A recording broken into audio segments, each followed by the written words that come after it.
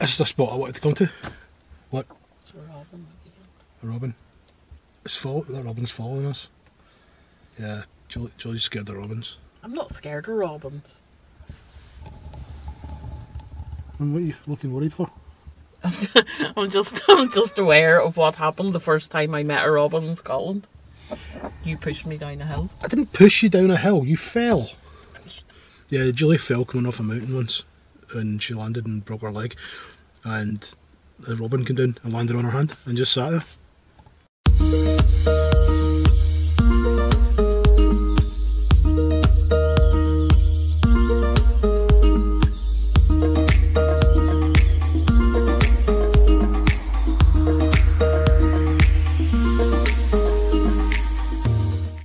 St Columba's Chapel and St Columba's Cave were excavated by Marion Campbell in 1960, I think it was. Thereabouts, wasn't it? Yeah, 1960. Well, Marion Campbell really didn't leave Argyll very much through her lifetime. To be honest, I can see why, because it's where we live and it is quite stunning. Um, but as a child, she did go to school. Um, she was sent off to Edinburgh um, to do a bit of schooling, but her father used to read her Kipling and Oh, right. all the all the big writers. Um, and when she did come back from school, she pretty much self-taught her um, all all the skills that she knew. Um, it was when she was at school in Edinburgh that she met Mary Mhm. Sandeman, Mary Sandeman, yeah. um, who we will talk about later. The two of them formed quite a friendship. But uh, when she was young, and obviously living in the castle, um, over the summer holidays, her friend Mary was from Jura, and the two of them used to communicate with each other across the sound of Jura with torches. They had a Morse code. Seriously? yeah. so even at an early age, she had quite a few skills because her and Mary were having great conversations across the sound of Jura, no doubt confusing the ships. Yeah, I was about to say, you're in a boat sailing past when somebody's needing help. No, they're not. They're probably just chatting about where we're going tomorrow. Must have been very confusing. Yeah. Anyway, this is a site I want to come to, and it just so happens to tie in with the sites Julie wants to visit. Uh, this is St Columba's Chapel and St Columba's Cave. And we're going to have a look. Marion Campbell inherited Kilberry Castle when she was eight years old when her father died. Um, in 1931, her cousin bought the castle. They died in 1938, and she inherited the castle again. Um, she had been given the chance to study at Oxford University, um, but it was the outbreak of war and despite Oxford saying she'd one chance and she could take it, she turned down the chance and went on ahead and joined the ATS, followed by the Wrens. I'm just watching out because it's a bit muddy here. Um, and obviously learnt skills there during the war. Um, she learnt a lot of um, accountancy skills and secretarial skills that proved invaluable because when she returned to Kilberry after the war, the castle was pretty much ready to be insolvent. Um, against her better judgment and of much pain to her, she sold a lot of the farmhouses um, and crofts on the estate basically to make the place solvent again and so that she could start writing. Um, she really was quite a prolific writer and we'll discuss that as well. We are on our way up to the cave and I can assure you it's quite squelchy. Oh, I've got stuck. this is when we find out if the boots are waterproof or not.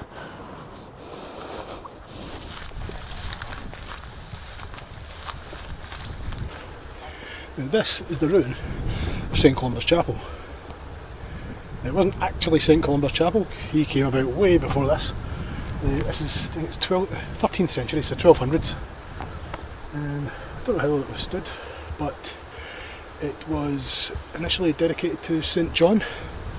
So the fact that it's now called St Columba's Chapel is more, to be honest, I think it's to catch the tourists because this whole area's got lots of St Columba relevance and they've tried to add some to this.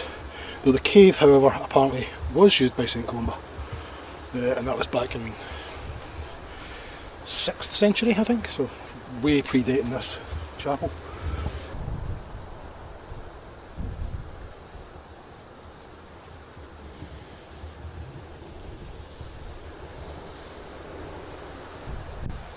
Actually looks like part of it's been kind of repaired.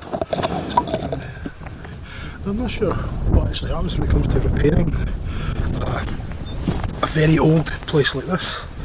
So obviously it's a complete ruin, but you know, for prosperity's sake they don't want the whole thing collapsing. So I don't know if they just maybe make a few small repairs just to keep it standing. Anyway, we're going to see the caves. If I can find Joy. She's vanished again. Martin appears to be lost in transit and we would kind of need to find him because he knows all about this.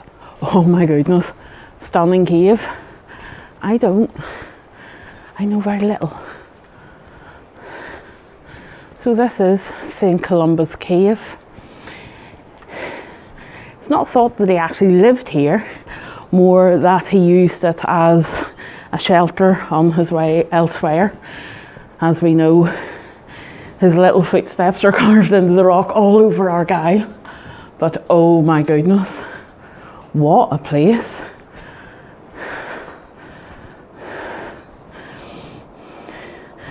We'll get down there and get the torch on it when Martin comes.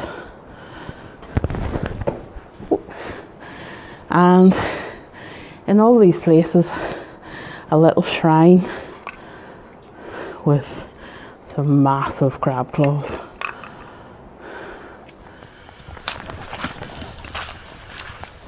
Bogfest!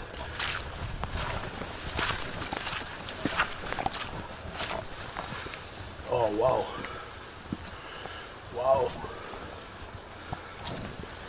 Wow. Just wow.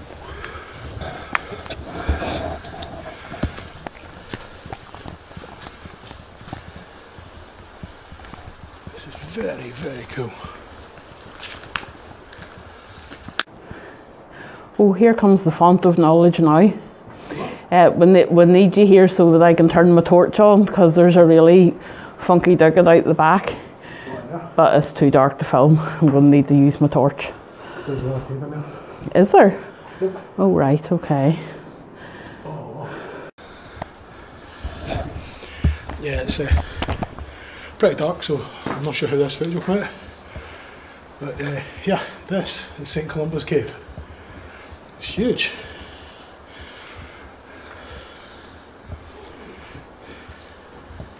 Now St Columba was in this area in the 6th century and he passed through this area to get to Dunadd and to head up to Iona where he formed his monastery. But apparently he stopped off here, and this was not so much a residence, but somebody would come to pray and do his monk stuff. Is that a word? Monk stuff? Anyway, hopefully you can see this. So there's a, a small altar there. The mo- altar's obviously a much later date. You see people's left little offerings on top. One of the inter- you know, interesting feature here, the crosses. I don't know if you can make this out, but there's actually four small holes there, which was this is a worn away cross. There's another four holes here, which was a Latin cross, uh, and there's a later one here that's been put over the place, over, over the over the Latin cross. Uh, it's a much later one. When I, say much later, it's not that much later. It's still, you know, about 700 years old. There's also another interesting feature in here, if I don't fall in my posterior. Uh, it's like a bowl carved into the floor. Now, they think it was natural, but they think it would have been used as some kind of a, font. It would probably gathered water from the roof, I'd imagine. Uh, they have uh, excavated this site. I think it was first excavated, well, it was first investigated in the early 1800s. Uh, and then again the early 19, early 1900s and it was properly excavated in the 1960s by Marion Campbell. They excavated it down, uh, I think it was three and a half feet, and they found uh, Neolithic remains from around 800 BC. There was also evidence of uh, early ironwork from the Iron Age. Uh, they found two uh, bodies buried inside the cave and another one just outside the cave with a, like a stone, like a stone coffin. Uh, so basically this, this cave has been in use basically for about 3,000 years.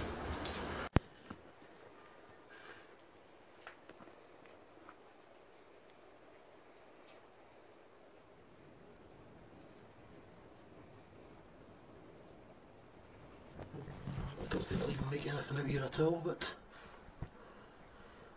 it's not actually that big a cave.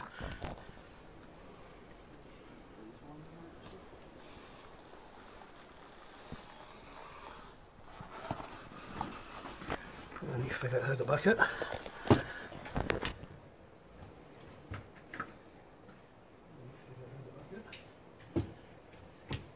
Julie pointed out earlier on, so these post holes, there's post holes all the way along this wall here, and they think what they were used for is to put a roof up over the altar. Well, that's the archaeologists say. I don't know, I never saw it. Have you seen how low some post holes are? Yes, I know Columba wasn't a big chap, but I think you might have taken the tea wee. Um, No, but the post holes at the bottom are across the door, the doorway to enclose it, which is what I was going to come to next. There used to be, uh, just at the entrance here, as you can see there's a kind of two big rocks that have dropped down. There is a kind of natural line down here, along here, and that lines up with those post holes. And there's a larger, larger hole there that ran from there, right across the other side there, where there would have been a lintel. And that would have basically closed off the front of the cave. So it might just look like a kind of skanky, minging, wet cave now, but they've probably been quite cosy back then. Some of the other interesting things that have been found in here with the excavations were uh, there were some crockery found from, I think that was from the Bronze Age, and they also found some Viking uh, Viking scales they found. But they only found them when they dug right down. What? Oh, yeah, as Jolie's just reminded me again, even though I'm the one that researched this one. Uh, one thing they did find in, in here was a large stone bowl, which actually was sitting up at the altar. Uh, they believe that bowl was used as a font, and the font is now in the church that we passed to get here. We've just come from there, and behold, another cave. yeah! Walls are really slimy. What you found? Where'd you go? She's another cave. Yeah, there's another cave. What? I've got slime off that. Yes. On my hand and now I'm a wee bit spooked. It's only slime. Yeah, it's just the texture. It's cave slime, it's fine.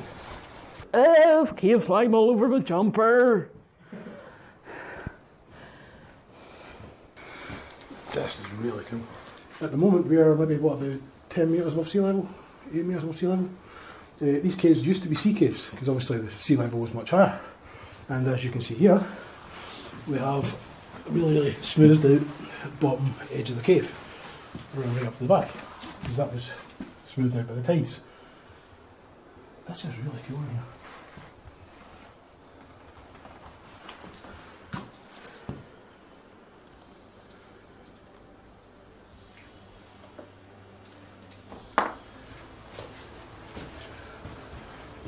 We should do more caves. That is gross. Slime that Jolly put her hand in.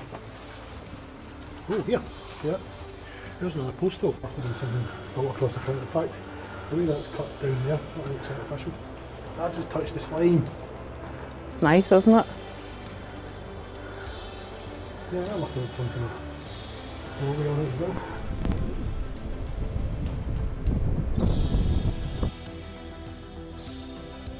So obviously Marion lived in this fantastic castle, but was very alone.